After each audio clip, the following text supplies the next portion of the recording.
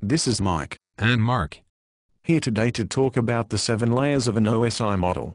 The Open Systems Interconnect OSI, model was developed by the International Organization for Standardization ISO, in 1984.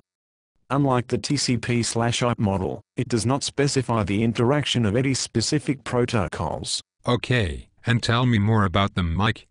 The OSI model includes all functions, or tasks, associated with inter-network communications, not just those related to the TCP/IP protocols. Cool.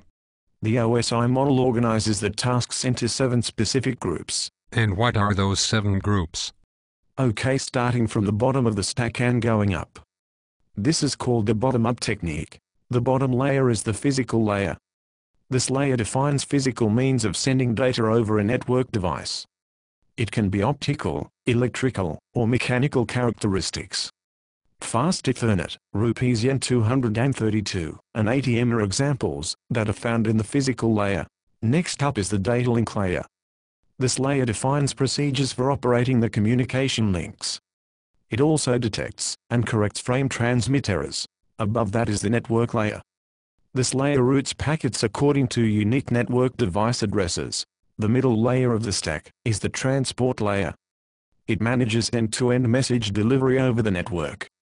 It can provide reliable and sequential packet delivery through error recovery and flow control mechanisms. Next up is the session layer. This manages user sessions and dialogues. It also maintains logical links between systems. Above that is the presentation layer. It standardizes user data formats for use between different types of systems.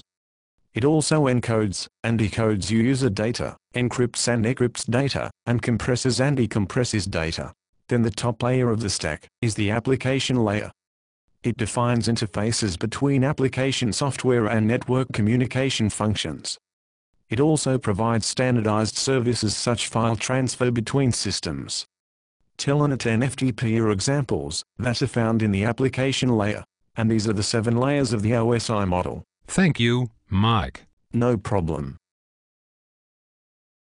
And these were the seven layers of an OSI model using bottom up. See ya.